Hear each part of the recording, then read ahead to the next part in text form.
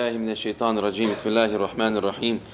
الحمد لله رب العالمين وأفضل الصلاة وتم التسليم على سيدنا ونبينا محمد الصادق الوعد الأمين وعلى آله وصحبه أجمعين. اللهم علمنا ما ينفعنا وانفعنا بما علمتنا وزدنا علما يا عليم. اللهم أرنا الحق حقا وارزقنا اتباعه وأرنا الباطل باطلا وارزقنا اجتنابه وأدخلنا برحمتك في عبادك الصالحين. Zahvala pripada Allahu, gospodaru svih svjetova, koji nas je počastio sa blagodatima neizmjernim. Salavat i selam našem poslaniku, miljeniku Muhammedu, sallallahu alaihi wasallam. Čije hadise čitamo ovdje i nastojimo da što je moguće više njegov životni stil prenesemo u svoju svakodnevnicu. Salavat i selam njegovoj častnoj porodici, ashabima, našim šehidima i svima onima koji slijede istinu do sudnjega dana. Gospodara molimo da nas počasti da spoznajemo blagodati njegove kroz trajanje tih blagodati, a da nas zaštiti dana kada ćemo neku blagodat spoznati samo zato što smo tu blagodat izgubili. Draga braćo i poštovani sese, dragi prijatelji našeg mešći, da mi nastavljamo sa čitanjem hadisa poslanika sallallahu alaihi wasallam u želji, u nijetu, u namjeri da sačuvamo kontinuitet koliko možemo u svojoj vjeri, u svome znanju, u svome učenju, jer najvrednija stvar koju čovjek može da ima u svome životu, kao što smo hiljadu puta kazali, da bi to postalo dio našeg bića i dio naše svakodnevnice, najvrednija stvar koju imamo jeste da u svojim dijelima imamo kontinuitet. Jer ljudi će biti nagrađeni na sudnjem danu shodno onome ne samo šta su činili, nego shodno onome šta bi činili da su do sudnjeg dana poživjeli. I tako će isto biti ljudi kažnjeni. I to je ono što mi uvijek imamo na umu. Dakle, naše svakodnevne navike u, u smislu odnosa prema Allahu, ponašanja prema ljudima, upravo je ono što će nam odrediti našu sudbinu i na budućem svijetu. I zato čuvamo kontinuitet koliko možemo, svjesni da ono što najviše boli prokletog šeitana i ono što najviše što najviše i najteže pada onima koji daleko od Allaha Đelešanuhu jeste kad neko ustrajava na putu dobra. Kao što kaže jedan alim, ništa ne lomi i blisa u kičmu kao kada neko od Allahu i robova padne Allahu na seđdu, a Iblis prokleti odbio da posluša Allaha Đelešanu. Ništa ne lomi više njegovu kičmu.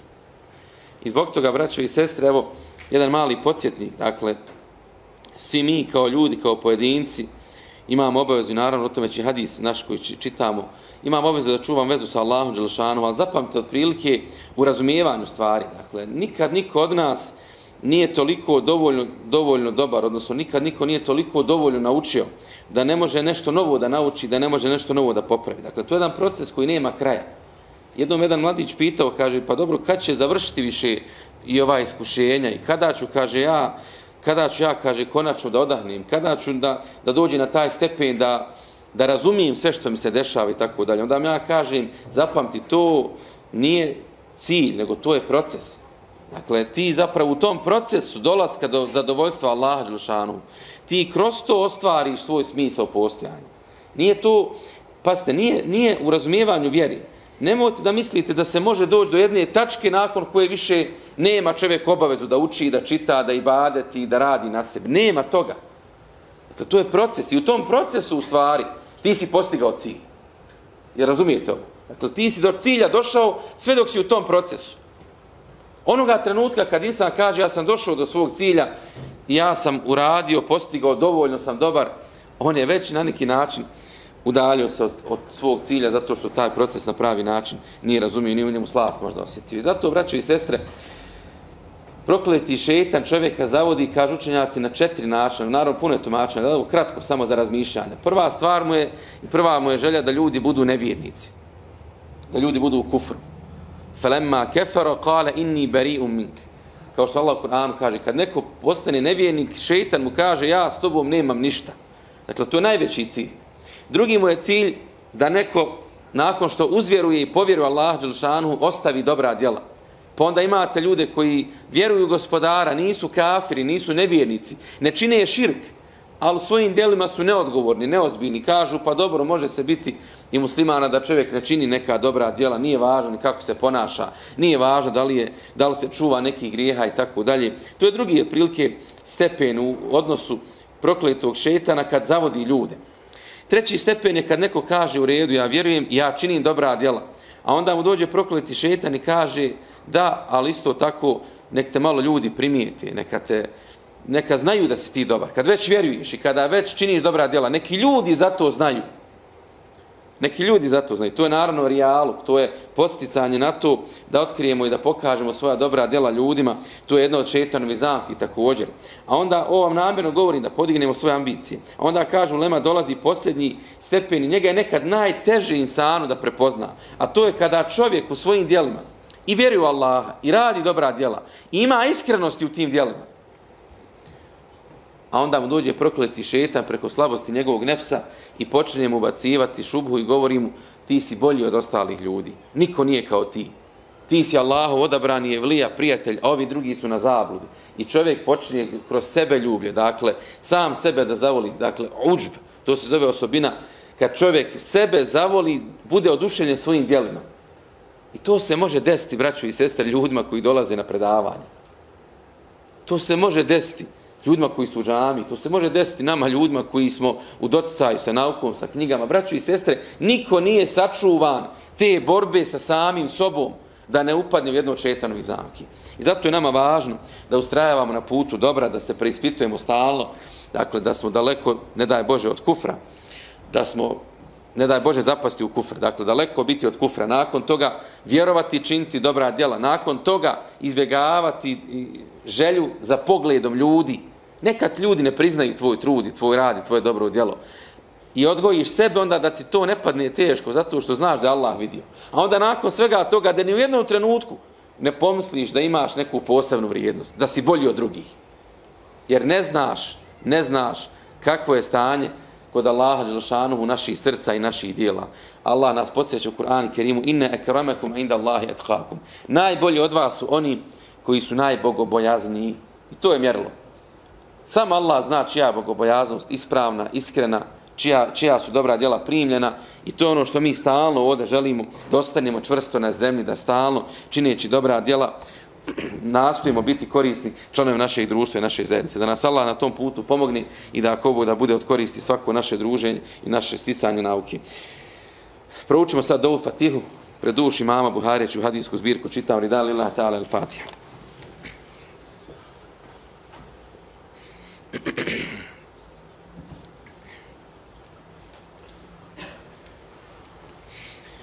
Nastavljamo dalje sa čitanjem hadisa iz zbirke Sahih imama Buhari. Došli smo do 945. hadisa koji glasi ovako. Hadethna Jahja ibn Džafer al-Bukhari, kale hadethna Waki' an Ali ibn Mubarak, an Jahja ibn Abi Kathir, an Ebi Salametan, an Jabir ibn Abdillah, kale. Pričao nam je Jahja ibn Džafer el-Buhari i kazao da mu je pričao Vekija, prenoseći od Alija ibn Mubareka, on od Jahja ibn Ebi Kesira, on od Ebu Selemi, a on od Džabra ibn Abdullaha da je rekao. Vi znate ko je Džabir ibn Abdullah, jedan od ashaba Muhameda sallallahu alaihi wasallam. Za njega se veže uvijek, spomenemo na događaj, fascinantan događaj njegov otac je preselio kao šehid u bici na Uhudu i ostavio mu je u emanet devet kćeri njegovi sestara da se brine o njima. I nakon što je preselio kao šehid, kažu, bilo je tako, tako, tako me tijelo bilo, da nije bilo, kažu, mjesta na njegovom tijelu, da ga nije rana, da nije sabljaga i koplje, da ga nije probolo i da nije bio uh, povrijeđen. Kažu, prepoznali su ga njegove kćerke po vrhovima njegovih prsti u Subhanallah. I tako, braćo i sestre, imate imate ljudi, ja se sjećam, evo spričat ću vam ovu, pa ću, pa ću se vratiti na ovu. Imao sam jednog džematliju, Allah najbolje zna njihova imena, nije važno, govorim zbog ibreta i poruki, koji je bio i stup džemata i koji je bio čestit u svome, u svome, svojoj mahali, u svome komšiluku i generalno jedan vrijedan insan, koji je, koji je uvijek imao želju da čini dobro. I sjećam se jednom je rekao ovako, kazao mi, kaže, Hafiz, ja ne znam to što ti znaš, u smislu ti neki škola, nauke, ja nemam ni, ni islamsku, ni islamsku naobrazbu. Ali kaže, vjeruj mi, ja sam za ovu džamiju i za ovaj narod i za ovu zemlju spreman glavu svoju da. Dakle, jedno čisto srce muminsko, znate. Nema puno znanja, možda u formalnom smislu, ali ima jednu vjeru koja je motor i pokretač svakog dobra bila. Ja sam znao o njemu puno dobra i nedavno sam sjedio s jednim čovjekom koji ga je dobro znao u ratu.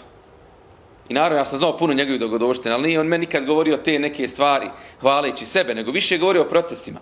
I prvi put saznam neki dan pričam i čovjek kažu taj, taj insan, taj čovjek danas, hvala Allah, hađija, kaže, on je bio toliko važan i toliko bitan faktor u odbrani našeg grada, u odbrani naših vrijednosti, da su agresori kada su nas napadali, kada su nas opkoljavali, govorili samo predajte tog čovjeka, mi ćemo vas, kaže, sve pustiti. U rata, ako želite slobodno, samo kaže njega dajte i sve će ostalo završiti. Zato što je imao vrijednost, snagu, težinu. Čovjek koji ima srce koje kod Allaha, ko Bog da čestito, čisto. Ali kod Allaha imao veliko mjesto. Zašto? Zato što mu je bilo važno da vrijednosti svoje vjere sačuva, da svoju domovni pomogne, da svoj narod sačuva. I onda je imao strahopoštovanje ovih dušmana koji mu dobro nisu htjeli. I tako samo navodim kao primjer. Pa ste, ja to nisam znao, nije me on govorio, ali kazali su drugi ljudi. Nemojte da mislite da će dobro koje čovjek čini u svom životu. Ti činiš dobro. Nemojte da mislite da će Allah Đelešanu učiniti da to dobro djelo propadne. وَمَا كَانَ اللَّهُ لِيُضِيَا إِمَانَكُمْ kaže Allah. Neće Allah dat da vaše vjerovanje propadne. وَكُلِ عَمَلُوا فَسَيَرَ اللَّهُ عَمَلَكُمْ وَرَسُولُهُ وَالْمُؤْمِنُونَ Radite. A Allah i vjer, poslanik i vjernici će vidjeti trud. I zato, braću i sestre, ovo, kad spomenem Džabra ibn Abdullaha i njegovog oca Abdullaha ibn Amra, Elensarija, kad spomenete te velikane, odmah sam poveznicu vidio sa nekim ljudima, nema možda puno znanja, nema možda naobrazbe, ali ima srce, subhanala, veće od brda i planine. E to ono što mi moramo da u svoje društvo vraćamo, koliko god to možemo vraćati i sestra. A onda Allah dadne da ti ljudi budu prepoznati. Sada, primjer, vraćam se na Džabirovog oca, koji je poginuo u bici na Uhudu, tako kao što sam kazao, dao je svoje tijelo i svoj život. I Muhammed Ali Salatu Veselam, želeći da obraduje Džabra koji je tužan bio, kaže mu, o Džabire, da znaš, tvoj otac je razgovarao sa uzvišenim Allahom bez ikakvog posrednika. Bez ikakve perde, bez ikakvog posrednika. Dao me Allah blagodat kako nikome nije dao od svojih robova. Običnih robova, osim poslanika. A onda pita ga Džabir, o Allaho poslanića, šta mu je, šta mu je rekao uzvišeni gospodar? A onda kaže, gospodar svih svjetova mu je kazao, o Abdullah, o robe moj, dao si svoj život na mom putu, zaželi neku želju, traži nešto od svoga gospodara. A onda on kaže, gospodaru, vrati me na Dunjaluk, da ponovo dam život na tvome putu. Zato što je vidio vrijednost šehidske nagrade, zato što je prošao taj put. I zato zapamte, braćo i sestre, kad neko u svojoj vjeri iskreno osjeti slast imana, ali iskreno kad to osjeti, ništa na dunjalku ne bi zamijenio za to. Jer zna da se nikakva dunjalučka slast ne može usporediti sa slašću odanosti Allahu Đelešanu. I kad tome mi treba da idemo, braćo i sestre. I kaže uzvišeni gospodar svih svjetova, kaže, o, Abdullah, to je moj zakon, ko umre ne može se na dunjalk vratiti, nikada nisam nikoga vratio ali kaže dajem ti svoje zadovoljstvo i nikada se na tebe rasrditi neću uđu u džennet moj. I Džabir ibn Abdullah je tada bilo lakše jer je znao na kakvom je stepenu da ređi njegov otac kod gospodara svih svjetova. Tako da, to je naravno samo jedna od škola asha, kroz ashabe Muhammed a.s. ali tražite, braćo i sestre, koliko god možete u tim primjerima primjere ljudi oko sebe, jer ima i u našem društvu i Džabira, i Abdullaha, i Omera, i Ebu Bekrova, u smislu vrlina, u smislu osobina, u smislu vrijednosti. Nisu to često poznati ljudi. Nisu to često ljudi koji su na društvenim mrežama. To su često oni čestiti, obični, pod navnim znacima, nepoznati ljudi koje vidimo u našim džamijama, u našim safovima. Ali kao što kaže poslanik sallallahu alaihi ve sellem, ima, kaže, ljudi koje vi smatrate bezvrijednim, ni podaštavate ih kaže poslanik alejhi salatu vesselam "Lau aqsama ala Allahi la abar." a kaže kada bi od Allaha nešto zatražio odma bi mu se Allah odazvao na to I zato, braćo, bitno je da vidimo kakvo je naše stanje i mjesto kod Allaha uzvišenog.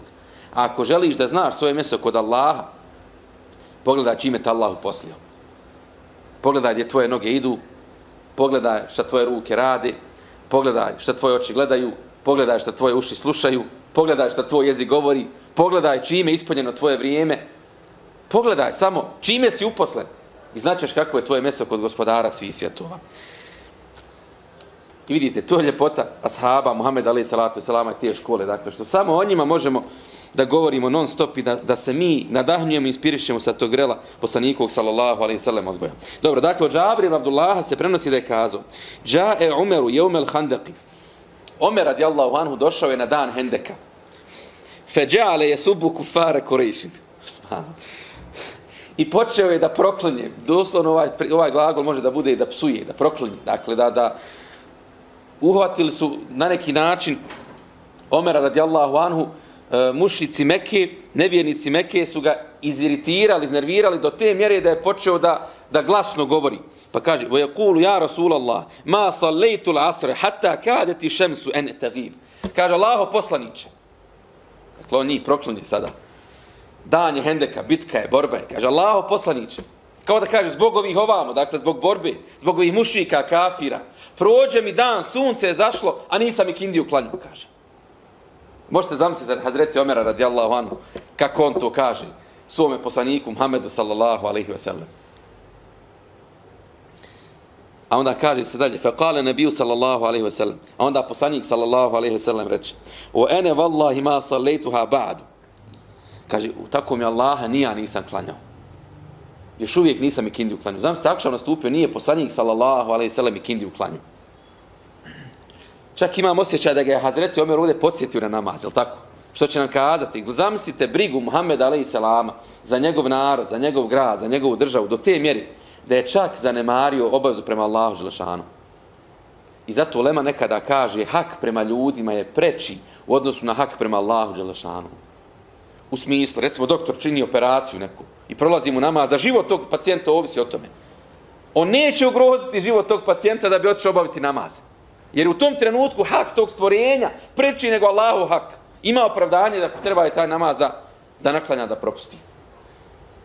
Razumijete? Dakle, naravno, sad ne znači da čovjek se opusti da kaže sad je men preči da ja odim sad tamo da uradim neko dobro djelo prema nekome što nije obavezno i neko dobro djelo koje ne znači sada život i nije borba za opstanak.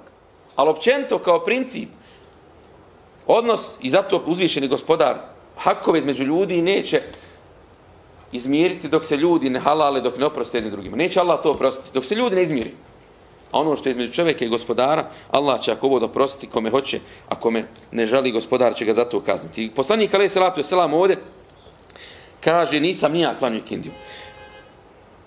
Kale, e, fenezele ilal buthani fete vode. Pa, se, pa dalje govori Džabir ibn Abdullah, pa su onda oni sišli u dolinu Budhan, to je tu jedno mjesto u, u blizini, dakle, e, Medine, i uzo je abdest, va sallel asri, i klanjao je kindiju, ba'de ma gabeti šemsu, thumme sallel magribe ba'de. Pa je klanjao je kindiju, dakle, naklanjao, a onda nakon toga je klanjao akšam namaz. Tako da znate, kad god se desi da propusti insa neki namaz, prvo se klanja namaz koji je čovjek propustio, a onda nakon toga klanja namaz koji je u tom vremenu. Dakle, uvijek je, uvijek, osim kada bi bio uspostavljen džemata, nema mogućnosti čovjek da, da stigne na džemat kasnije, uzme nagradu džemata, onda nakon toga naklanja, ali uvijek je pravilo da čovjek, da čovjek prvo naklanja što je što mi ostalo, onda nakon toga da klanja namaz koji je trenutno. E sad gledajte, braći i sestre, to je hadis kojeg smo pročitali, mnogo je poruka ovdje, hoću samo nekoliko stvari sama da podijelim. Prvo,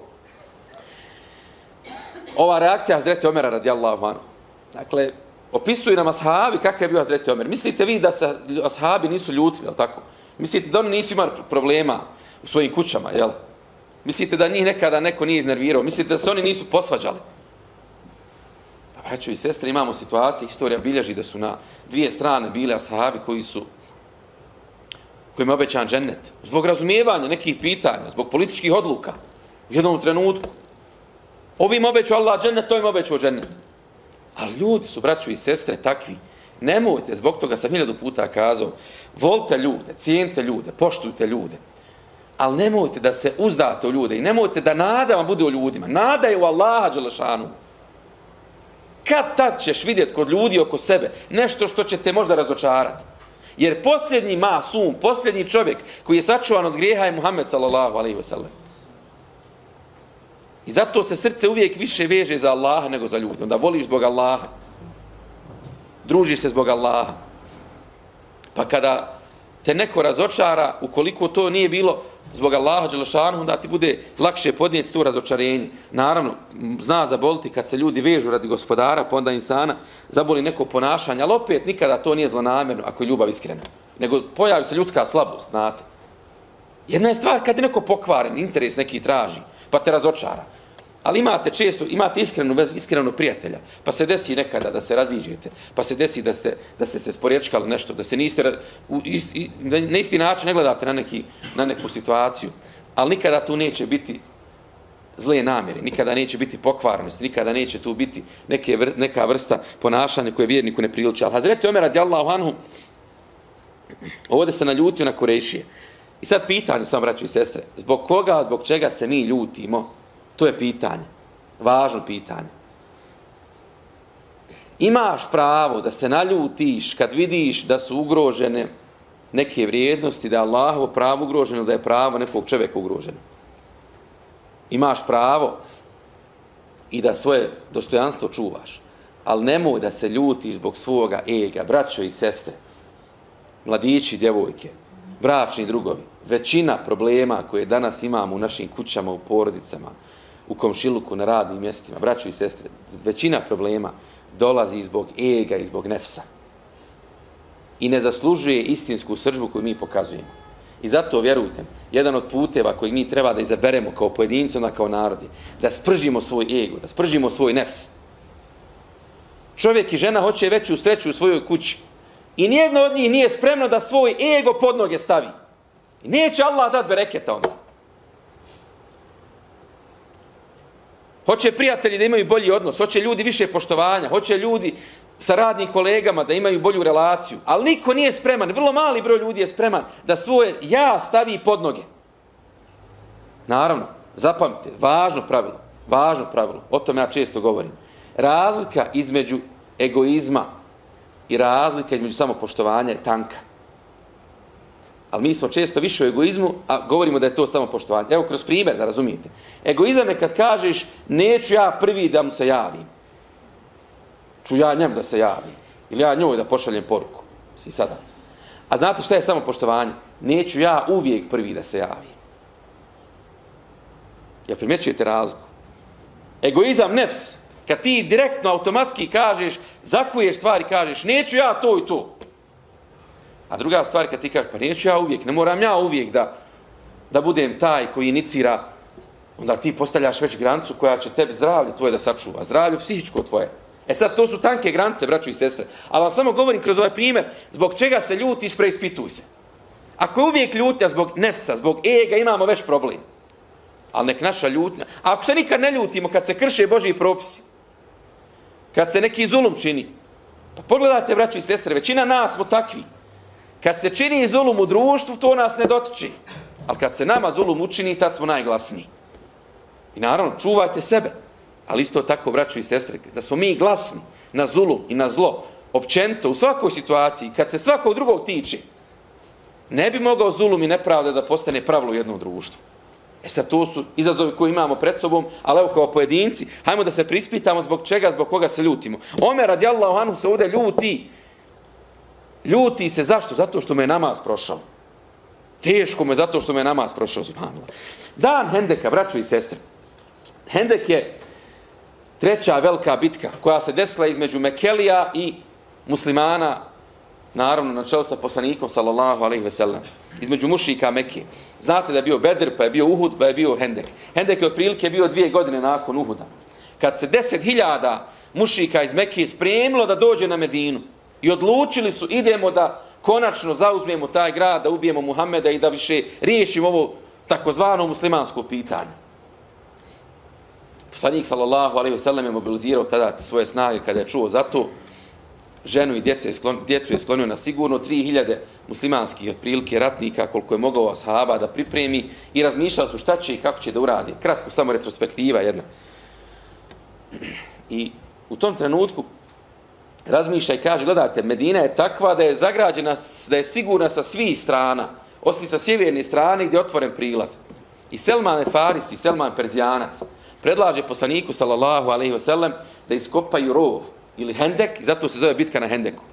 Da iskopaju taj rov i da se na taj način sačuvaju od mušika koji dolaze. Oni nisu naviknuti na takav način vođenja bitki, a on je to vidio u Perziji prateći mnogobrojne rat, ratove između Vizantije i Perzije. I on donosi to svoje iskustvo i poslanik alaih salatu selam ga poslušao. To je bio 7 metara širok hendek, 3 metra dubok i 3 kilometra dug. To je zanimljivo, braći Evo sad kroz, kad sve spomenu ovde u hadisu, E, bitka na Hendeku, samo nekoliko poruka, i sad tim ćemo zaokružiti, ako Bog da, hadis narod govori o namazu, to nam je suština, ali, ali za razmišljanje, jer smo imali nekim specifičnim okolnostima, braću i sestre, i hoću da uvijek imamo na umu to. Dakle, dušmani oko nas nikad neće odustati od svojih agendi i planova. To je, to je Allaho zakon. Da će do sudnjeg dana zla da budi. I zato nikad nije pitanje kakvi su dušmani, samo je pitanje kakvi smo mi.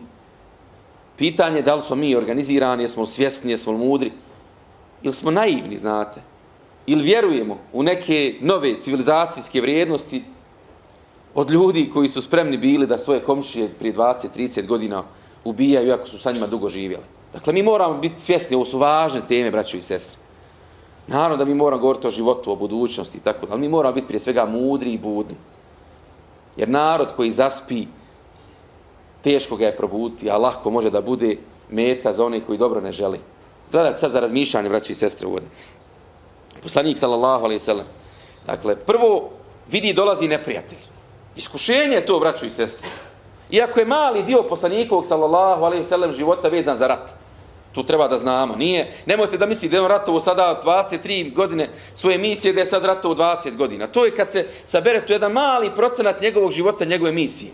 On je dominantno živio jedan normalan porodični život, socijalni život sa svojim uspostavljao socijalne vrijednosti. Živio je sve život koji znači blagostanje. Sve ono što vodi ka uređenju jedne zajednice i društva. Ali imao izazove naravno na tom putu. I moramo o tome da govorimo. Ali nemojte da nas neko ubijedi sada i kaže on su samo ratovali. Njemu je stalno sablja bila u rukama i tako dalje.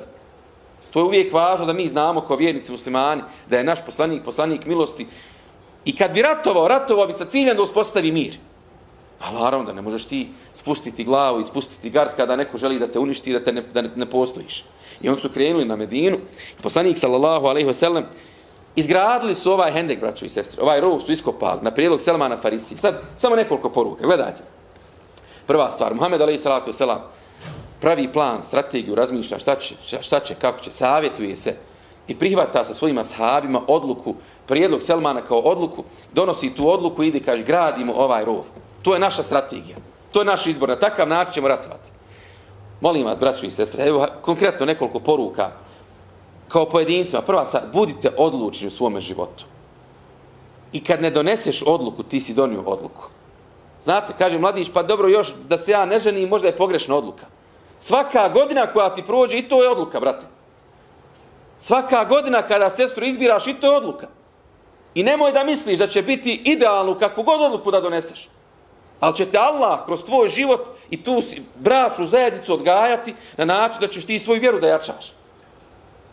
Daleko od toga da to treba da bude džehennem koji ti treba da trpiš. Ne daj Bože. To treba da bude sklonište od oluji. Ali vam samo govorim kad ne doneseš odluku, i to je odluka, braću i sestre. Znam se da je Muhammed Ali Islam rekao, pa dobro, hajde čekat ćemo, nek dođu, treba njima 10-15 dana da dođu, pa ćemo vidjeti šta ćemo, znate. Ne, ne, nego su odlučili. Znate za koliko su iskopali ovaj rov, kad gledate ovako? 3 km dužini, sa tom tadašnjom tehnikom, za 6 dana, braćo i sestri. I zato kad Kur'an govori, kad nas Allah odgaja u Kur'anu, وَشَاوِرْ هُمْ فِي الْأَمْرِ Savjetuj se sa njima. Savjetuj se, šta god u životu. Ženitba, udaja, posao. Gdje ćeš da živiš? Šta ćeš da radiš? Koji auto da kupiš? Da li da kupiš stan? Da li da ne kupiš stan? Da li da ideš ovim putem ili ideš onim putem? Odluke su svakodnevne neke braćo i sestre.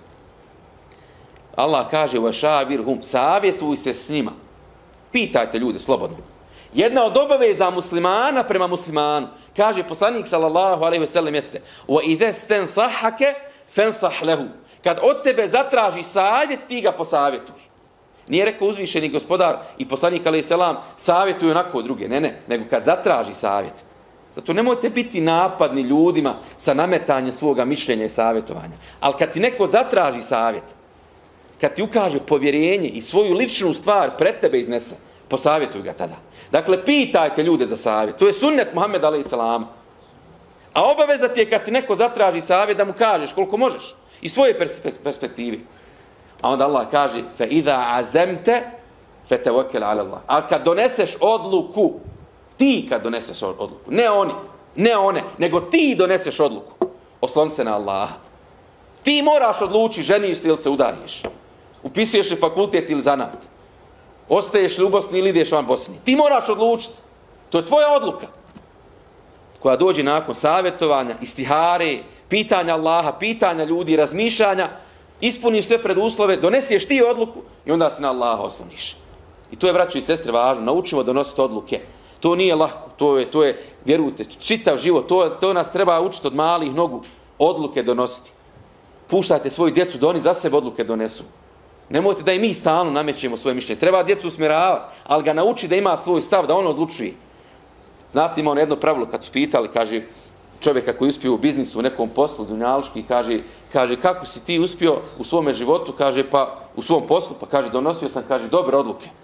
Čuj, kaže, pa kako si, kaže, došao do dobrih odluka, kaže, kroz iskustvo. Pa kaže, a kako si došao do iskustva? Pa kaže, donosio sam loše odluke.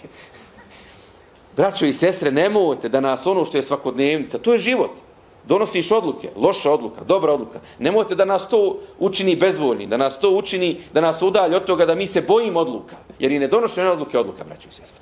Eto, Hendek nas uči tome. Muhammed A.S. razmišlja, pravi strategiju, pita, odluku smo donijeli, idemo u tom pravcu. Za šest dana su napravili, iskopali taj rov.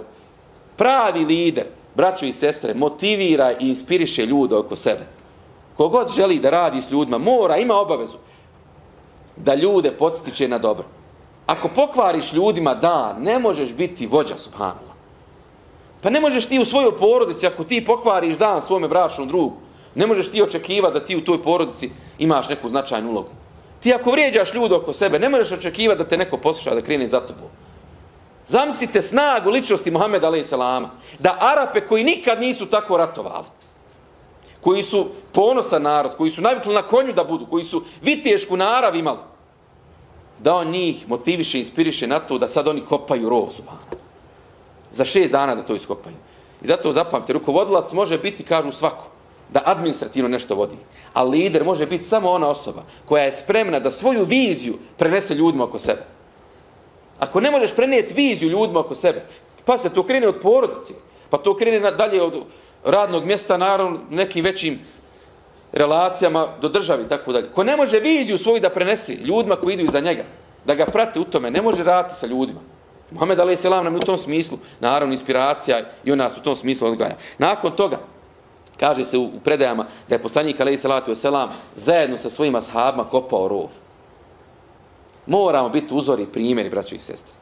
Pa ste, ne može moje, ne mogu ja svom djetu govoriti da klanja ako ja ne klanjam namaz. Neće me poslušati. Ne mogu ja govoriti da učim Kur'an ako ja ne učim Kur'an. I sve u životu tako. Dakle, mi moramo biti, ako želimo rad s ljudima, ako želimo uspjeha, opet se vraćamo svoje kuće pa nadalje. Da svojim primjerom pokazujemo koje su prave vrijednosti. I zato Muhammed Ali Selam se uključio, kaže, deset ljudi je rasporedio i kaže, deset ljudi dao im zadatak 30 metara kopate. I svakoj toj grupi je došao, prišao i pomogao u kopanju toga hendeka. Kažu, toliko je znao da bude izađe iz tog grova, kaže, a zemlja mu, kaže, sve do pojasa. Subhan. A zamislite, poredajte to sa današnjim liderima, predvodnicima. Naravno, ne moraš u svakoj situaciji da, da budeš i da to pređe neku granicu, da to postane na neki način populizam, znate. Ali prepoznaju ljudi, prepoznaju ljudi, koji su to predvodnici koji liče na svoj narod. To ljudi, Allahov je zakon tu. Ima neko glumi, to ne damo Allah Đelšanu a neko to sakriva Allah Đelšanu mu dadne među ljudima poštovanje. I to nas također uči Hendek, dakle, primjerom usmjeravati, odgajati. I još ovo, ovo mi je važno, braćo i sestre, posebno za mlade ljudi, sa tim ću zaokružiti. Ohrabrite ljude oko sebe da kažu svoje mišljenje. Gledajte ove veličine Muhameda sallallahu alaihi sallam. Selman je stranac, nije Arab. Nije on bio dugo ni sa njima. Ali izlaže prijedlog koji nikad niko dotad nije čuo. Nikoga nije ismijao zbog toga, braćo i sestre. Nikoga nije omalovažio. Nikoga nije izvrgnuo tu nekom ruglu, znate, i, i učinio da se da ga drugi ismijava i tako dalje. Poslanik Ali Selam šta više prihvata taj prijedlog zato što je bio dobar prijedlog. A zašto je to Selman mogao kazati? Zato što je Muhammed Ali Selam učio da imaju svoje mišljenje, svoj stav i da imaju stva, samo poštovanje. Zato, braćo i sestre, odgajajmo sebe da imamo svoje mišljenje, svoj stav, da ga smijemo kazati. I pokušajte uvijek u svom životu okružiti se s ljudima koji poštuju vaše mišljenje. Znate, ako, ako idete tamo logikom da gdje postoje dvije glave koje na isti način misle jedna je višak, naravno ne treba se konfrontirati bespotrebno. Ali nama izlazu, evo nama kao narod, da što više imamo pojedinaca koji mogu da svojom glavom kvalitetno razmišljaju koji mogu da neku novu vrijednost donesu u društvo u kojem živimo. I zbog toga, braćo i sestre, evo, ovaj nas hadis uči i podsjeća na to zapravo da bitka na Hendeku je bilo vrijeme kad je poslanik alaih salatu je selam propustio namaz zbog te borbe. Allah nas je kroz ovaj primjer naučio, to je Božja mudrost, da postoje situacije kad čovjek čuva svoju vjeru, svoj identitet, svoj narod, svoju domovinu, takve situacije teške, ratno stanje, da je čovjeku, čak poslaniku Muhammedu alaih salamu, bilo dopušteno da propusti namaz kojeg je narod posle naklanjao. Ali nemojte da u stanju mira, nemojte da u stanju blagodati, rahatluka, kada su klime u našim džamijama, kada su klime u našim kućama, kada su pune naše sofre, kada priliku većina ima ljudi da živi dostojanstveno, iako mnogo ljudi imaju probleme, ali nemojte da u takvom ambijentu, braću i sestre, kalkulišemo s namazom. Puno puta u zadnje vrijeme smo govorili o namazu, Namaz je stup naše vjere i braćo i sestre, zbog toga čuvajmo svoje namaze, čuvajmo svoju vezu sa Allahom Đelšanuhu i neka nas ova bitka na Hendeku koju sam govorio ovdje. Mušici su došli, mjesec dana su bili, opsadu su pravili, nedostatak hrane i sredstava, vratili su se poraženi, nisu uspjeli da prodru u Medinu. I naravno, Medini je velika glad bila, ali Allah dao pobjedu muslimanima preko ove ideje Selmana Farisije koju je prihvatio Muhammed a.s. Zato, braćo i sestre, naoružajmo se, kad kaže naoružajmo se, prije svega duhovno, duhovno. U tome je naša snaga. Zato nas uče ashabi, tome nas uče i naši šehidi i naše gazi. Duhovno da mi jačamo. Neka bude na umu rečenca onoga insana koji je kazao, ja to ne znam previše, ali sam spreman za svoj narod, za svoju domovnu da uradim sve što je potrebno. Takva nama snaga treba u srcima našim. Nakon toga, braćo i sestre, da donosim odluke. Odluke donoste. Nemojte žurti, nemojte srljati, nemojte brzoplati biti, ali odluke se moraju donositi u donošenju odluka pitajte ljude, ali se na Allaha oslonite. Kad se na Allaha osloniš, Allah dadne da to nahajr izađe kasnije. Kažeš Allah, ja sam uradio što je do mene, uradit ću ovako, molim te daj mi bereketa u tome. Allah, dragi, pomogni motivirajte, inspirirajte ljude oko sebe. A da bi to mogli da radimo, moramo prvo sebe da čuvamo. I nakon toga, naravno, što sam kazao, izgrađujte svoj stav, svoje mišljenje. Molim Allah da nas na tom putu pomogne, da nam podari snage, da ako Bog da mi kao narod imamo sposobnosti, znanje, mudrosti, da se sačuvamo od izazova koji su pred našim narodom. Amin, rabbil alamin. Euzu billahi min šeitan rajim, bismillahirrahmanirrahim. Alhamdulillahi rabbil alamin, wa salatu wassalamu ala rasulina Muhammedin wa ala alihi wa sahbihi ajma'in. Gospodar naš počast nas, nemoj nas poniziti. Gospodar naš oprosna grijeha, nemoj nas kazniti. Gospodar naš, molimo te za džennet i svako djelo koje džennetu približava. Allah zaštiti nas od džehennema i svakog djela koje džehennemu približava. Molimo te, gospodaru, počast nas, da budemo od onih robova tvojih s kojima si ti zadovoljan. Allah, počast nas da živimo sa la ilaha illallah na dunjalku, počast nas Allah da se tebi vratimo, svedočeći da nema Boga osim tebe. Molimo te, gospodaru, čini nas od onih robova tvojih koji će Muhammed alaih selam prepoznati na sudnji dan kao istinske sledbenike svoje. Allah, daj nam snage da čuvamo naše namaze. Molimo te, gospodar, da nas naši namazi boljim insanima čini. Gospodar, čuvaj nas čuvaj naš narod, čuvaj našu domovinu. Molimo te, gospodar, zaštiti nas od svakoga zla. Molimo te, gospodar, onaj koji je bolestan, tim zdravlje podari, onaj koji je tužan, tim tugu razgali, onaj ko nešto očekuje, gospodar, ti mu njegovo očekivanje olakšaj i ubrzaj. U puti našu omladinu vrati islam na najljepši način. Onaj koje traži bračnog druga, ti ga počasti sa ili bračni drugom. Gospodar, počasti nas da u našim srcima ne bude mržnje i zavidnosti, zlobe i svake druge duhovne bolesti. Allah, pomozi nam da spoznamo šta je to što nas od tebe udaljava pa da se mi od toga udaljimo. Allah, ako mi zaboravimo tebe, nemoj ti zaboraviti nas. I budi nam milostiv na dan kada ni metak ni sinovi neće koristiti. Subhana rabbika rabbil izzati amma yasifun wa salamun alal mursalin. Walhamdulillahi rabbil alamin. Al-Fatiha.